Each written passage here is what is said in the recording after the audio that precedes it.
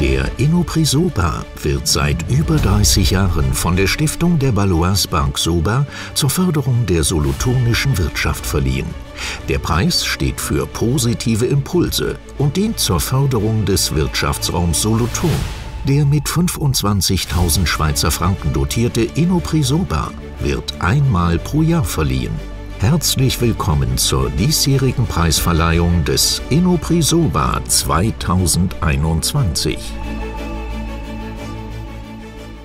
Liebe Gäste, ganz herzliches Willkommen hier im schönen Stadttheater Olten.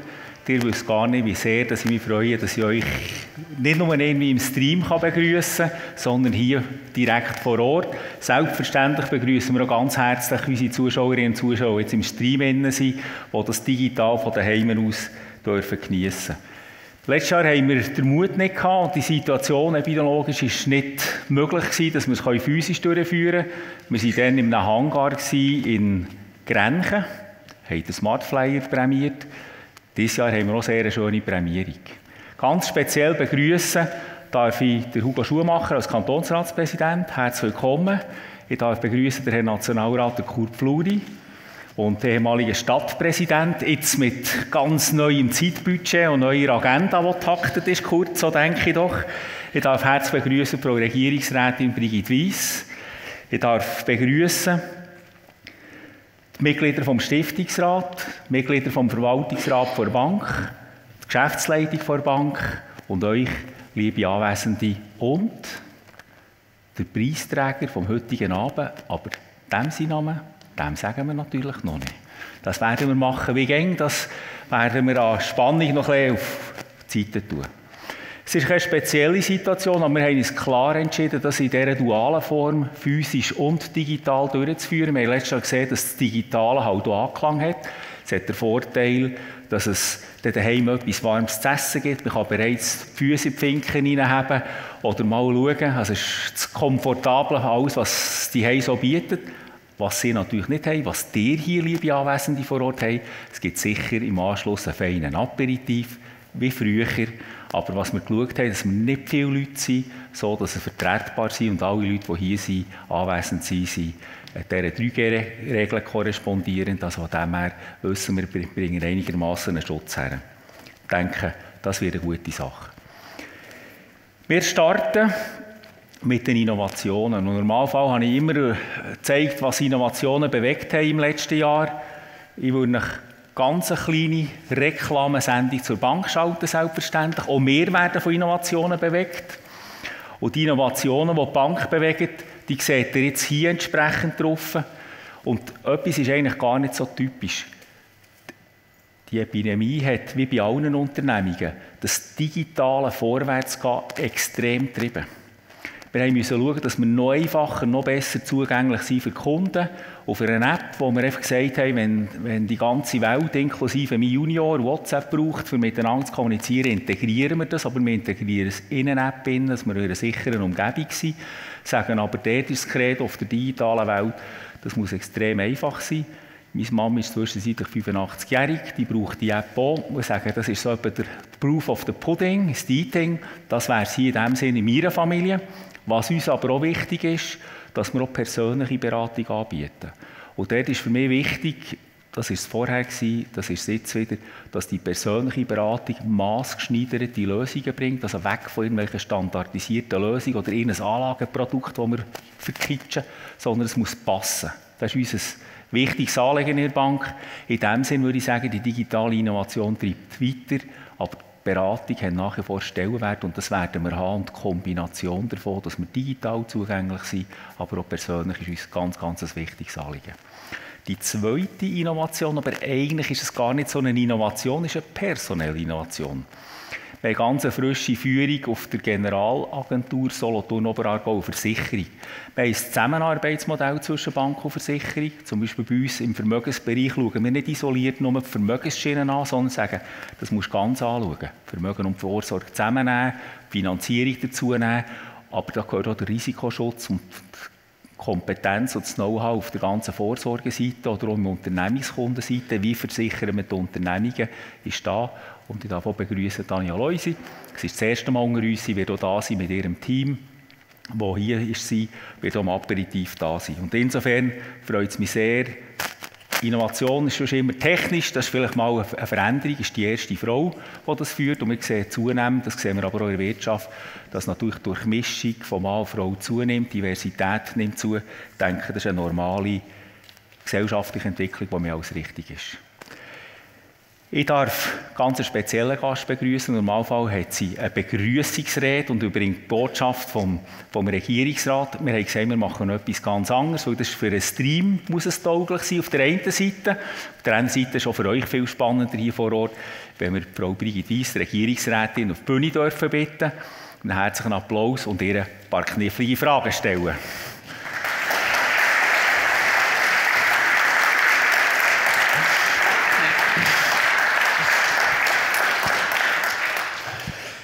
Brigitte Weiss ist als Regierungsrätin, und das freut mich als Wirtschaftsvertreter hier in Solothurn, ist ein extrem.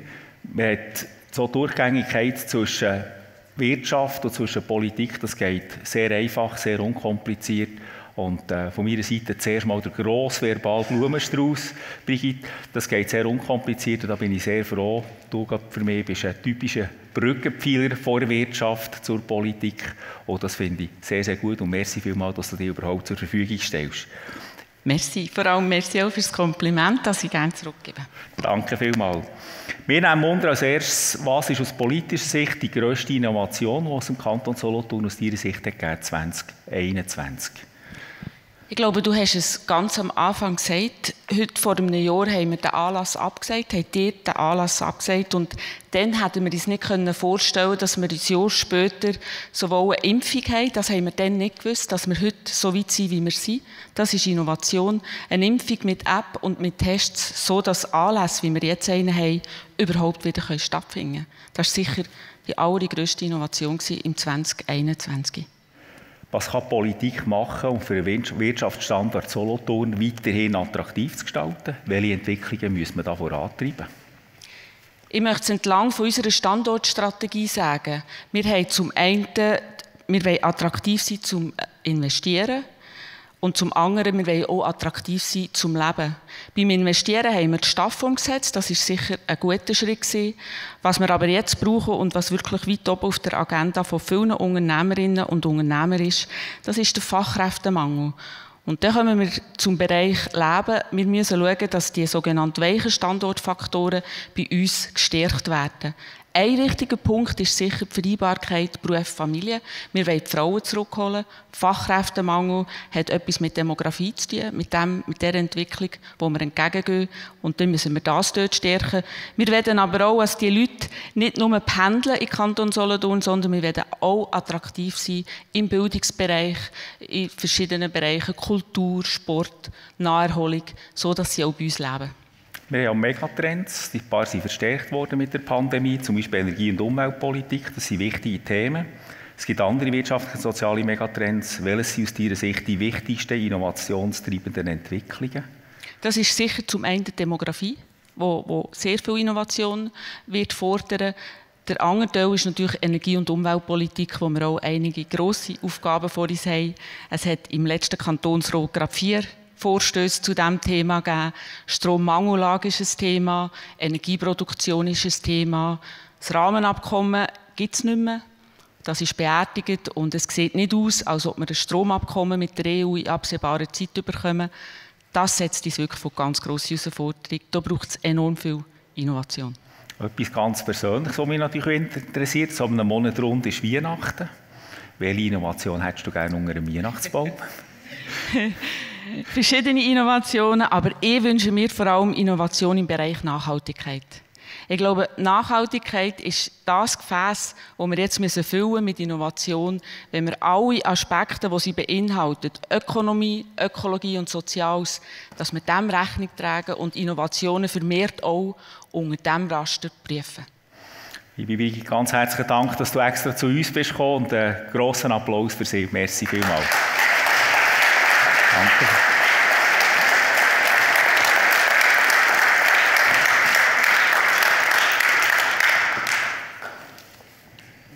Wir haben auf einen Gastredner, Gastredner dieses Jahr ganz bewusst verzichtet, weil wir gesagt haben, wir wollen nicht zu lang oder zu lang fertig sein. Aber was wir natürlich jetzt langsam einbiegen ist in die Richtung, wer ist der Preisträger, welches Projekt wird ausgezeichnet. Und für das darf ich dem Stiftungsratspräsidenten Jürg Lichti übergeben. Jürg, bitte.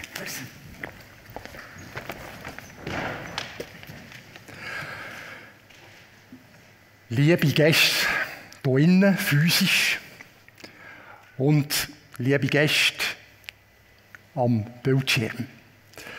Der Jürg Ritz hat es gesagt, Not macht erfinderisch. Wir haben wieder ein neues Format äh, uns ausgedacht, das wir jetzt ausprobieren. Wir werden sehen, wie das rauskommt.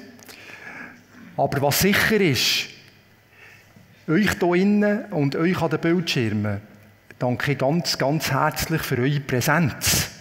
Weil schlussendlich ist die Publizität, die wir erreichen, durch das, dass teilgenommen wird, ist ein Teil vom Nutzen, den der Preisträger überkommt, nebst dem Geldbetrag, den wir geben. Wir geben ihm Publizität.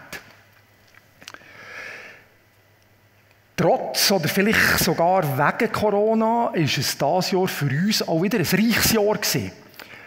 Wir haben eine grosse Anzahl von Projekten und wir haben sehr hochwertige Projekte. Und von dem her war es eine echte und eine spannende Auswahl für äh, mich und meine Kolleginnen und Kollegen im Stiftungsrat. Was so ein Projekt muss erfüllen damit es überhaupt in die Grenze kommt, damit es sich bewerben kann, das, für das haben wir ein kleines Video und auf das ich jetzt gerne hinweisen.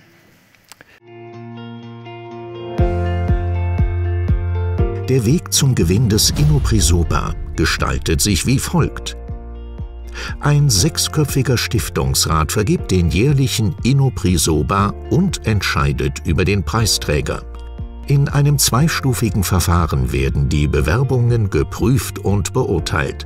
Anschließend werden die besten Projekte zur Präsentation eingeladen.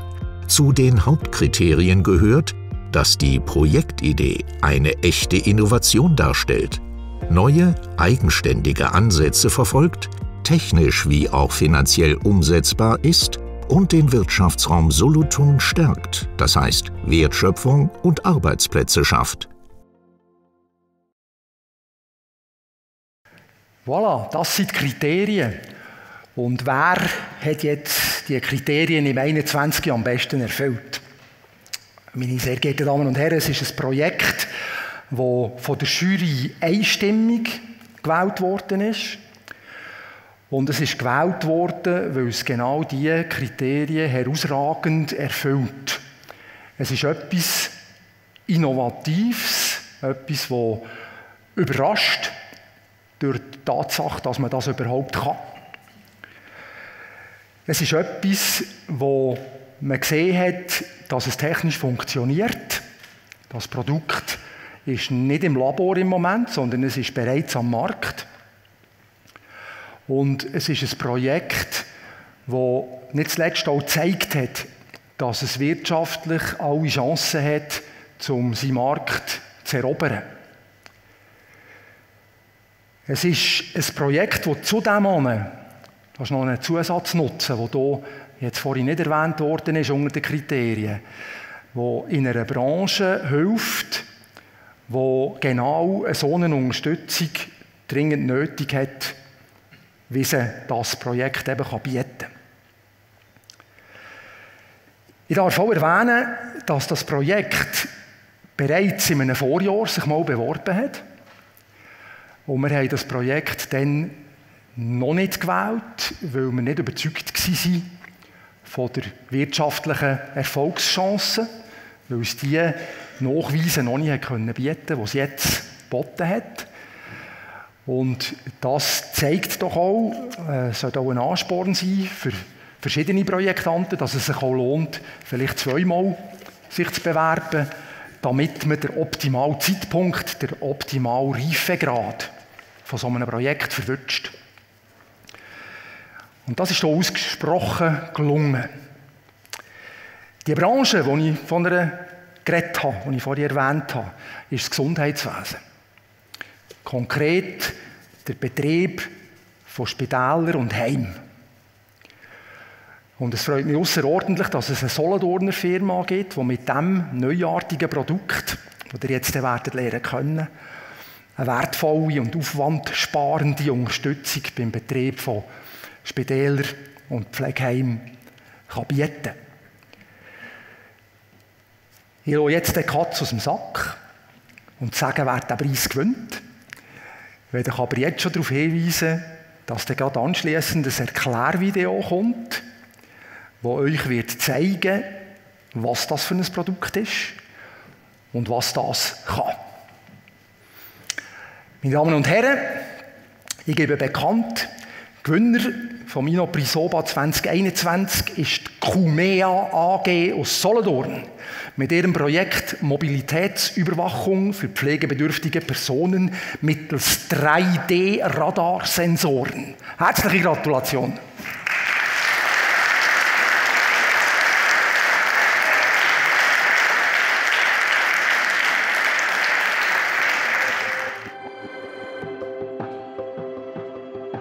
Zur richtigen Zeit am richtigen Ort, das darf in der Spitalumgebung kein Zufall sein.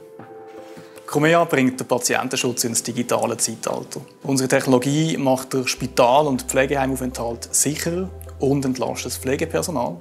Und gleichzeitig liefern wir neue Erkenntnisse zur Aktivität und Mobilität von Patientinnen und Patienten.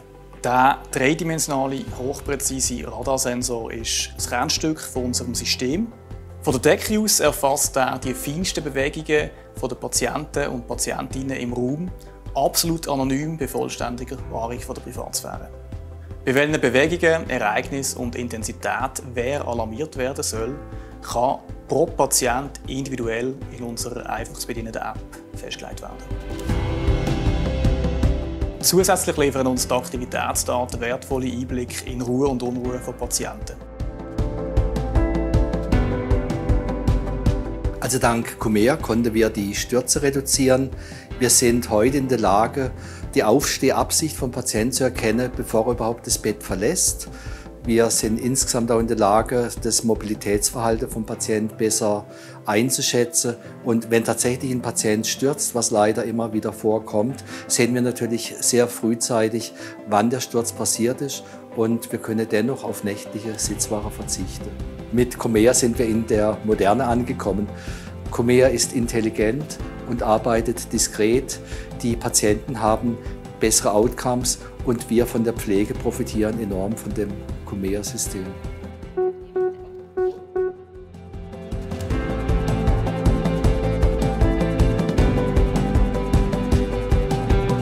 Mit Comea können wir Entlastung schaffen und dazu beitragen, dass rechtzeitig Hilfe vor Ort ist, wenn sie gebraucht wird.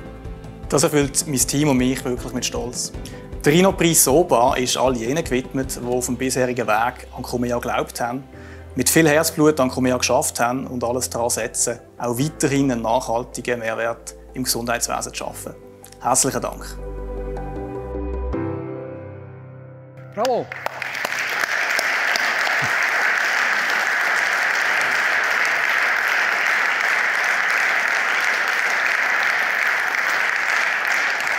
Ihr habt den Herrn Cyril Giger von der Cumea gesehen und gehört und ihn bitte jetzt auf die Bühne zum Interview.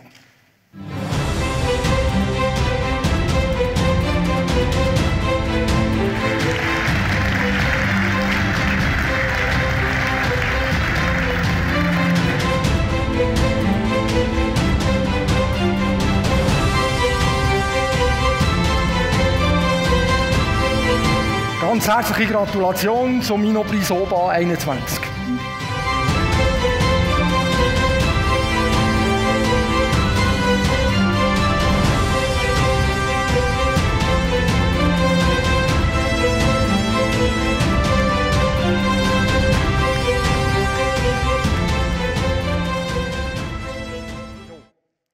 So. Radar. Für mich ist Radar äh, ein kritischer Begriff. Ich verbinde das mit Geschwindigkeitsblitzkontrollen auf der Straße.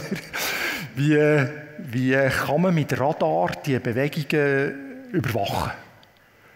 Ja, ich glaube, äh, Geschwindigkeitsmessung, das ist die Spitze vom Eisberg, wenn es um Radar geht. Radar kann viel mehr. Es ist vielerorts im Einsatz, wo man es gar nicht denkt. Jedes neue Auto hat mindestens ein Radar, zum Messen, wo ist das nächste Auto. Lichtlampen, die so Bewegungsmelder drin haben. Viel, viel Radar, wo man gar nicht weiß, was ist. Und insofern kann man es eben auch für ganz viel mehr brauchen, als für teure Bußzettel ausstellen. Beim, bei der Buß wird man ja gefüttert. Und das ist auch nachher der Beweis, dass man es war am Steuer. Und wenn ich verstanden habe, die, die Anonymität vor allem wahren, ist das, weil man mit Radar selber eben das Gesicht nicht erkennen kann. Ja, genau. Beim Radar bist du nicht erkennbar als Person. Wir sehen Bewegungen mit dem Sensor. Das heißt, wir sehen im ganzen Raum, wo Bewegung herkommt, was das für Bewegung ist. Grobmotorische, feinmotorische könnte auch zuordnen zu einzelnen Personen. Gleichzeitig haben wir keine Ahnung, wer das ist. Wir haben kein Bild, wir haben keine Informationen über Geschlecht und Alter. Das heißt, das System ist per se in einer Anonymität, die es erlaubt, also so kritische Umgebungen wie Spitäler und Pflegeheime eingesetzt zu werden. Und trotzdem, wenn ich es recht verstanden habe, kann man ja unterscheiden, ob jetzt jemand zum Bett aussteigen oder ob jemand irgendwie sonst rumfuchtelt oder scheint sogar eben noch schnauft. Mhm. Und das kann man alles mit einem einzigen Sensor effektiv feststellen. Das, das überrascht, wenn, wenn ihr das noch ein bisschen erklären könnt. Ja, ja, ich habe es ja in der Rede schon gesagt, man, man glaubt es gar nicht, wir sind ja selber immer wieder überrascht, was alles möglich ist. Aber der, der Clou ist, wir können die Bewegungen nicht nur feststellen, wir können sie lokalisieren. Und das sind das ist eine magische Zahl. Es sind 100 Millionen Bewegungspunkte pro Sekunde, wo das Gerät erfasst. Das ist eine extreme Dichte an Information. Und da wir so viele Punkte sehen, verstehen wir auch, ob jetzt das äh, Vitalwerte sind. Wir sehen Arme, Beine, Extremitäten, die sich bewegen, solange sie sich bewegen. Wenn sich etwas nicht bewegt, sehen wir es auch nicht. Aber so ist das möglich, dass man eben so viel von einem Patienten kann sehen kann, ohne dass man ihn eben sieht. Das ist ein bisschen widersprüchlich, aber es ist tatsächlich Fakt. Ja. ja. Das ist super. Jetzt haben wir ja die Aussagen gehört von dem Arzt vom Felix-Platter-Spital. Und es leuchtet einem ja schnell mal ein, wenn man die Alarmierung hat, dann verwünscht man den Patienten vielleicht, bevor er gestürzt ist oder bevor er zum Bett ausgeht ist. Aber könnt ihr da etwas dazu sagen, wie das jetzt der Alltag der Pflegenden wirklich erleichtert? Oder wie viel Zeit oder wie viel äh, schwierige Umstände das, das kann einsparen kann? Ja, das Wesentliche ist eine Entspannung, die das System gibt. Das heißt, durch das wir eben Zeitgewinn geben, Gerade das Beispiel mit dem Bettausstieg. Die heutige Methode die alarmiert dann, wenn man neben dem Bett steht. Und wenn jetzt jemand sturzgefährdet ist und die Person steht neben dem Bett, dann geht sie wahrscheinlich auch gerade um. Und unser System ist halt in der Lage, das viel früher zu erkennen, gibt einen Zeitgewinn und der Zeitgewinn hilft der Pflege, dort sein, bevor Stürze passieren. Mhm. Durch das ist es entspannt, es kommt Ruhe in Betrieb, es werden viele Stürze verhindert. Jeder Sturz ist Aufwand. Wenn mal ein Patient am Boden liegt, kann ich den normalerweise nicht mehr allein lüpfen, ganz abgesehen von den persönlichen Folgen, was das zur Folge hat. Das heißt, man hat wirklich viel von der Zeitkomponente einen grossen Impact auf den Pflegebetrieb und genau die Zeitkomponente ist das, was halt auch kritisch ist. Wir wissen alle, dass Pflege definitiv nicht zu wenig zu tun hat jeden Tag. Das heißt, die sind wirklich froh, wenn ein System wie Cumea eben Entlastung beiführt. Mhm. Jetzt eine Frage, die mich als Physiker noch vor allem interessiert. Ich meine, Radar, das sind ja Mikrowellen. Eigentlich reden wir von Elektrosmog. Wie, äh, wie könnt ihr sicherstellen oder wie habt ihr äh, das gemacht, dass das nicht selber auch noch gesundheitsschädigend ist, wenn man hier dauernd bestrahlt wird? Ja, Mikrowellen tönt immer böse. Es sind Mikrowellen, wir sagen lieber Millimeterwellen. Mhm. Ähm, die Wellen sind sehr schwach, die sind hundertmal schwächer als ein WLAN, wenn man es daheim hat. Also ganz, ganz fein. Man kann die fast nicht wahrnehmen, wenn man sie messen will. Und entsprechend ist das keine Gefährdung. Das ist auch selbstverständliche zugelohnte Frequenzbänder. Und das ganze Thema Elektrosmog ist natürlich auch ein bisschen, ein bisschen ambivalent. Ich glaube, da ist auch viel Fehlwissen rum. Viele von den iPhone-Ladegeräten, die Sie wahrscheinlich auf dem Nachttisch haben oder nebenan strahlen viel mehr Elektrosmog aus als das Gerät an der Decke. Also wir haben da definitiv gut dafür geschaut, dass das nicht schädigend ist, sondern es eben hilft. Ja. Ich gehe davon aus, dass ihr das müsst im Griff haben sonst hättet ihr es nicht genau. können am Markt bringen das ist klar. Jetzt, äh, eben, der Rhino-Preis ist ja nicht einfach ein Erfinderpreis, sondern wir wollen Projekte auszeichnen, wo wir uns zutrauen, dass sie einen wirtschaftlichen Boost machen. Und wir haben ja auch schon gesehen, dass ihr die, die Ansätze eben habt. Könnt ihr etwas dazu sagen, wie der Businessplan ist? Oder auch übersetzt die Arbeitsplätze im Raum Solothurn, wie die nächsten paar Jahre geplant? Ja, vielleicht fangen wir mit den Arbeitsplätzen an. Das ist, dort haben wir schon bewiesen, dass wir wachsen können. Wir sind heute zwölf Leute, vor einem Jahr sind wir noch sechs gewesen. Es geht in einem ähnlichen Tempo weiter. Nächstes Jahr werden wir weitere fünf bis sechs Leute anstellen, laut Businessplan. und äh, ja, entsprechend soll es auch mit den Zahlen gehen. Wir haben das große Glück, mit dem Produkt schon im Markt zu sein. Das heißt, wir können heute schon Kunden bedienen. Es ist schon mittlerweile 13 Institute in der Schweiz im Einsatz, Spitäler und Pflegeheim. Und jetzt sind wir wirklich gerade dran, den Fuß ins Ausland zu setzen. Fokus Deutschland nächstes Jahr. Und so soll es weiter wachsen, genau. Am Standort Solothurn, das ist auch noch wesentlich. Also das soll sagen, wir sind jetzt gerade, äh, ziehen gerade um Ende Jahr. Es ist ein bisschen kuschelig geworden in unserem bisherigen Büro. Und jetzt äh, bleiben wir in Solothurn, bekennen uns zum Standort und werden am Westbahnhof neue Büro beziehen. Super, das freut uns natürlich speziell. Die obligate Frage zum Schluss, wie setzen Sie den Preis ein? Ja, jetzt gehen wir mal dick essen, haben wir gedacht. Nein, äh, wir haben heute fast das ganze Team hier, das, das soll länger zum Essen. Nein, aber der Preis wird, äh, wenn man so kann sagen, fast reinvestiert in Innovation. Wir sind jetzt gerade dran, ein neues InnoSwiss-Projekt einzureichen, das sich um nochmal etwas Neues kümmert, was mit dem Sensor möglich ist, nämlich die sogenannte Ganganalyse. Verstehen aus dem, aus dem Bewegungsmuster von Personen, ob sie eine Demenzneigung haben, ob sie gewisse Pathologien entwickeln. Und die Vision bei diesem Projekt ist, dass jedes Patientenzimmer, das überwacht wird, eigentlich soll ein Ganglabor werden. Heute muss man in ein aufwendiges Labor, muss verkabelt werden und unser Sensor kann das substituieren. Und das Forschungsprojekt, da haben wir wirklich gedacht, geben wir jetzt den, den Preis geben wir als Eigenmittelbeitrag ein und insofern kommt es gerade wieder der Innovation zugute. Das ist super, das treibt die weitere Innovation an, das ist natürlich toll. Das war die Pflicht, die Fragebeantwortung. Ihr habt noch eine Kür. Äh, ihr habt das Wort. Ja, ja also ich glaube, äh, Dank ist angesagt. An verschiedenen Ecken. Äh, auf allererster Ebene sicher im, im ganzen Komitee, im Stiftungsrat, wo uns er, ermöglicht hat, heute dort zu sein, wo auch die Anerkennung möglich gemacht hat, die wir, die wir hier bekommen. Das ist eine grosse Anerkennung für uns, ist ein wichtiger Preis. Und der Preis ist nicht möglich ohne das Team. Das darf man sagen. Das Team ist schlussendlich das, was Cumea ausmacht. Es gibt ohne Team weder ein Produkt, noch einen Kunden, noch Cumea. Und darum bin ich auch froh, ist das ganze Team, fast das ganze Team heute vertreten. Ähm, der Dank gehört dem Team.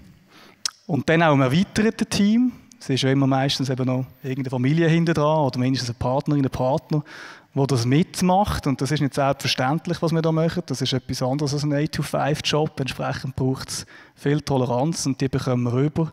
Die Freiheit bekommen wir rüber. Und insofern darf man auch mal denen im Hintergrund einen grossen Dank aussprechen. Und was ich auch noch gerne würde, ist äh, den Kunden danken, den Partner, die, die seit Anfang an uns geglaubt haben.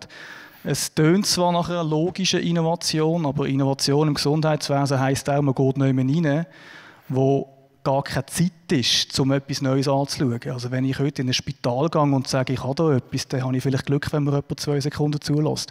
Und wir haben es mit, mit, mit wichtigen Partnern und Kunden geschafft, dass wir sehr früh sie wahrgenommen worden und viele an die Innovation denkt und glaubt haben. Sie haben es verstanden, gesehen, das Potenzial ist da und haben dem eine Chance gegeben. Und die Chance hat sich bewahrheitet. Es, es hat extrem viel Mehrwert gebracht, aber wir haben die Chance eben erstmal müssen überkommen. Und darum ist es auch wichtig, dass diesen Kunden und Partner, die früher an uns geglaubt haben, Dank gebührt. Und das soll hier damit ausgesprochen werden. Vielen Dank und selbstverständlich Ihnen Anwesenden für Ihre Anwesenheit. Und ja, jetzt ist der, glaube ich, das Vieren angesagt, oder?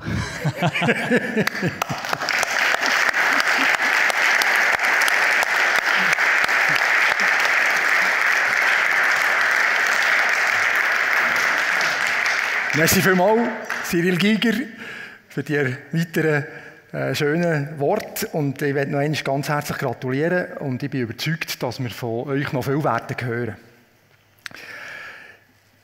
Äh, liebe Zuschauerinnen und Zuschauer, der Jörg Ritz hat es gesagt, wir haben ein neues Format. Wir warten nicht so lange auf ein Apero wie, äh, wie andere Jahre. Etwas, wo unsere Livestream-Übertragung leider immer noch nicht kann, ist den virtuellen Gästen jetzt der Apero überbeamen. Und äh, sie nachher auch in die Unterhaltungen mit den Preisträgern, in die, in die sozialen Gespräche, die wir haben. Wir haben hier äh, von der Innovation her noch Luft nach oben und wir werden die versuchen zu füllen. In welcher Form dass wir den Rhino Preis 22 werden durchführen, wage ich nicht vorauszusagen. Aber wir werden ihn durchführen. Und ich werde bei dieser Gelegenheit mir einen Hoffnungsausdruck geben, dass es bei bester Gesundheit wird sein und dass es im Frieden wird sein, ohne grosse gesellschaftliche Konflikte. Ich übergebe jetzt den Jürg Ritz, werde aber einen Dank noch loswerden, den er nämlich sonst nicht sagt. Und das ist der Dank an die Bank.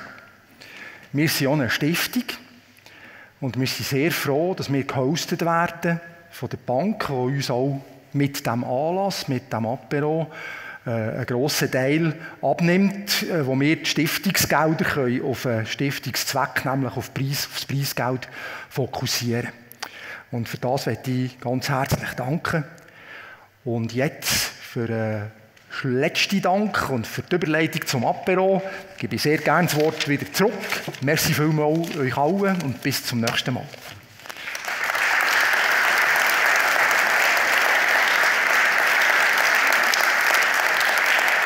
Lieber Jörg, lieber Jörg, aber noch bevor ich dir gehe, habe ich natürlich auch dir noch zuerst eine Frage.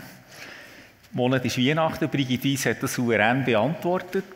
Welche Innovation wünschst du dir unter dem Weihnachtsbaum? Ein neues Virus. äh, eins, das ein bisschen Humor und Toleranz boostert. Ich glaube, das brauchen wir. Weil noch schlimmer wie Corona-Erkrankung ist äh, wenn wir nicht mehr zusammenarbeiten in der Gesellschaft. Das müssen wir vermeiden, weil das wäre wirklich innovationsbehindernd.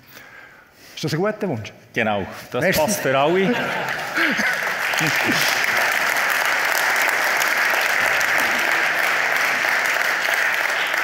Gratulation auch von meiner Seite an das Team von QMEA und Herrn Giger. Äh, finde das gut, nach dem Apero nachher ins Essen überzugehen, ein dickes Essen zu machen, zusammen feiern. Ich finde genau, das ist das, was in dieser Corona-Zeit zu kurz ist gekommen. Und dass ihr genau auf den Knopf drückt, finde ich umso schöner.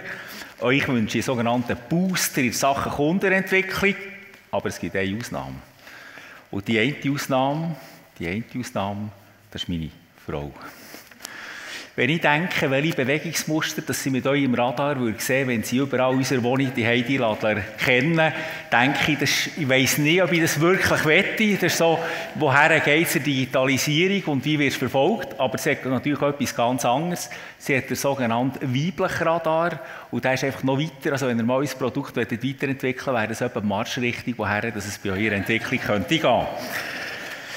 Ich darf in dieser Gelegenheit sagen, wie geht es weiter und wie könnte das im 2022 aussehen? Immer natürlich, die Corona-Situation lässt das zu. Werden wir immer schauen, was wir dann machen, was, was möglich ist. Digital ist sehr viel möglich.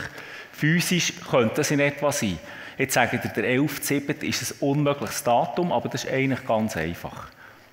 Das ist jetzt unmittelbar vor der Sommerferien hier im Kanton Solothurn. Also das heisst idealerweise ab jetzt zwischen Frühling, Frühsommer, irgendwann liefert das ein. Wie und wo dass das funktioniert, sehen wir ganz einfach im Google einmal Inopri eingeben und dann seid ihr zu oberst oben und dann ist es ganz klar, wie das es läuft.